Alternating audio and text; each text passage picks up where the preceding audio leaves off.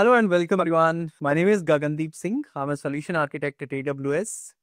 And today we have an exciting conversation lined up with Mr. Tarun Dev, Director, Cloud and Data Platform at Snapdeal. And recently, Snapdeal migrated uh, its uh, entire data center, on-prem data center to AWS Cloud in just 45 days right? And we are here to learn more about their journey towards cloud, the challenges faced, and the benefit realized. Thank you for joining us today, Tarun. Welcome here. And to start, could you please tell us a little more about Snapdeal and its business? Yeah, hey Gagan, thanks for having me here. So, uh, Snapdeal is a leading retail and e-commerce business focusing on tier two and tier three cities across India. We operate multiple well-known brands like Snapdeal, Unicommerce, Rangeeta, etc. And we have both online and offline presence. Oh, great. Glad to know about so many brands from Snapdeal. Okay. And what were the key primary drivers, Tarun, uh, behind your decisions to move to AWS Cloud from on-prem? So we were operating out of our private data center like since uh, I think 2015 so due to a need for hardware refresh and limited scalability options with our on-premise setup, we decided to explore cloud options. We evaluated multiple cloud vendors, but I would say that AWS stood out for its strong customer support, vast array of services, stability, and it was ideal choice for our migration. Glad to know same. Okay, so before moving to AWS, can you just uh, let us know about your on-prem infrastructure, what it was, what were what kind of workloads you were running over there? Yeah, yeah, it was a big setup. We had around uh, 1200 physical servers, each server having, uh, I think, 72 cores. We had like petabyte of uh, storage. We were using Ceph uh, or our uh, basically block storage. And we have around 250 microservices built on Java and Spring Boot, backed by technologies like MySQL, Kafka, Cassandra, like you name the technology and we are using it. For our data needs, we were using Vertica and we have our own internal data platform, which, it, which is backed by Spark. Oh, amazing. So seems like you're using all the latest tech and trends, huh? okay, yeah. so can you walk us through the migration planning process? How you identified because it, it's a very big infrastructure, seventeen hundred physical machine, and uh, I believe it was around twenty five hundred plus uh, virtual machines. So how you thought of identifying? How you identified that uh, workload? Which one to migrate first? How you prioritize and uh, continue with the migration? Can you shed some light on this? So the planning process was uh, intensive, uh, yet it was very efficient. So we let we leveraged AWS services uh, like DMS for uh, database migration. Then we used Direct Connect, which gave us a very low latency uh, network on high bandwidth, uh, basically, which enabled us to kind of run in a hybrid mode for uh, around month month and a half. So we started by migrating less critical workloads. And once we were confident that everything was working fine, we basically gained up speed and then moved our core services uh, on uh, on the AWS. But as far as I know, starting from planning to the entire migration, that entire stuff you were able to complete in just 45 days. And that's definitely an impressive achievement. So how you ensure business continuity, minimizing your downtime during this migration? How was that possible? It was not 45 days. It was 45 days and 45 nights, I would say. uh, okay. So I would credit a great planning process. So I remember, I think uh, around 50 to 60% of the time was put up in planning. And uh, once we had a clear plan, execution, I would say, was pretty simple. So we engaged AWS support, uh, AWS Pro Serve early on, and which was part of our, for example, landing zone creation. For our initial planning, uh, we were very thorough. We made sure we were doing the thing manually we used Terraform uh, to provision everything using code. That's really amazing to hear about, right? Because having everything planned and then executed seamlessly, that is definitely an awesome.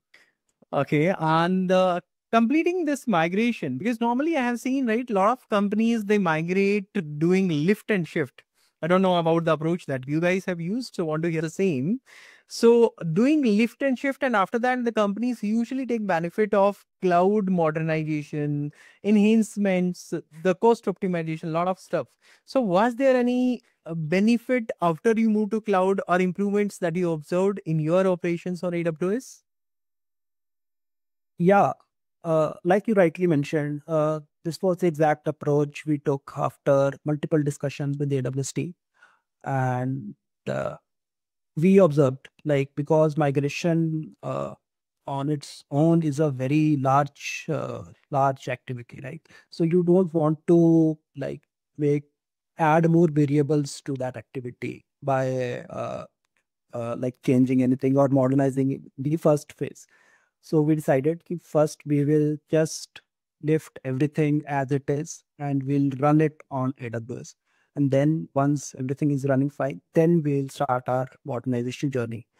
And I'm happy to tell you that we were able to reduce our cloud spends by a massive 65% through modernization efforts, including like, for example, using Graviton, which gave us a lot better price performance and then saving plans uh, we were able to use spot instances, some serverless services we were able to use. So AWS offers like a lot of services, which if used wisely can result in great performance and uh, cloud optimization, uh, cloud cost optimization. Amazing to hear 65% cost optimization. Awesome. Kudos to hear same. Okay. And what are the key learnings uh, from the migration journey? Because when you say you migrated uh, so many applications, definitely there would have been a couple of challenges in that. So want to hear about those challenges so that uh, the audience who are hearing us, they should also get to know about the challenges and how we can overcome say. Like I already mentioned, uh, I think biggest learning was the importance of uh, thorough planning and uh, making sure you have like our, your fundamentals sorted. So we faced few issues uh, mostly related to capacity planning. Like for example, we required uh, some number of instances of a particular type and they were not available. But uh, with AWS support, we were quickly able to uh, get through those kind of issues. And then we basically fine tuned our approach on the on the uh, like dynamically on the run, and we were able to get through. Great. Okay, cool. So what advice would you give to other organizations, right, who are yet on-prem and planning to move to cloud, but somehow they are currently not getting confidence enough? So what confidence, what advice you want to give it to them before so that uh, they consider migrating their workflow to AWS? So I would say uh, like, uh, yeah, migration is a big activity, but uh, with proper planning, it is possible and more often it is beneficial to move to cloud because it gives you a flexibility where you can basically uh, optimize on multiple aspects uh, related to infrastructure.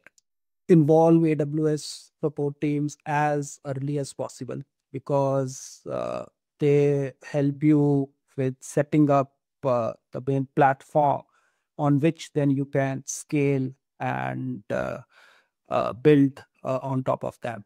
They also help you basically uh, make sure that you are using all, uh, you are incorporating security in your design.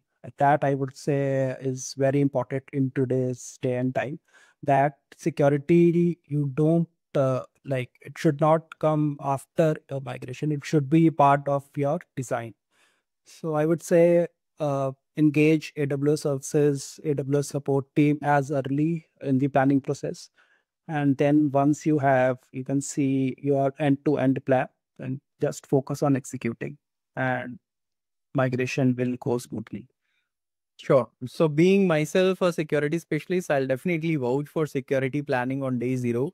So, before even you start, so definitely in your planning, your planning should start with security in center. So, that has to be there. That's advice from my side too for all our customers.